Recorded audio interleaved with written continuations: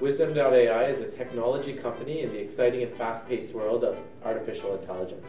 We bring a conversational AI as a service offering to the market, which really empowers enterprises to offer virtual assistants, smart talk services through Google Home, Alexa, Cortana, uh, through uh, conversational IVRs, as well as cognitive search.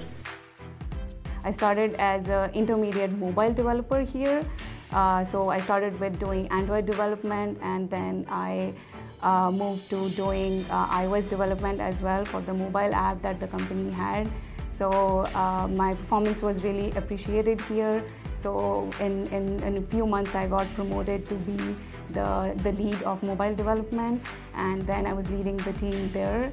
And with the expertise on the customer side and on the ability to actually lead and bring things to completion, they actually gave me another promotion and I was promoted to be the manager in the team. So I worked as a manager for the team for about eight to nine months and got another promotion and I was promoted as a senior development manager uh, three months ago.